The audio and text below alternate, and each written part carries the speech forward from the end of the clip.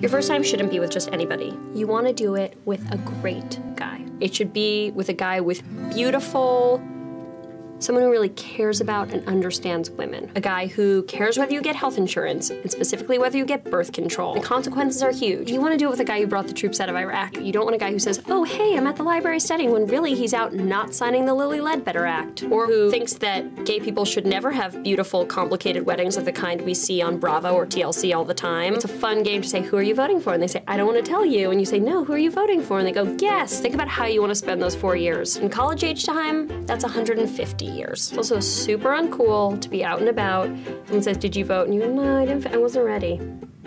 My first time voting was amazing. It was this line in the sand. Before I was a girl, now I was a woman. I went to the polling station, I pulled back the curtain, I voted for Barack Obama.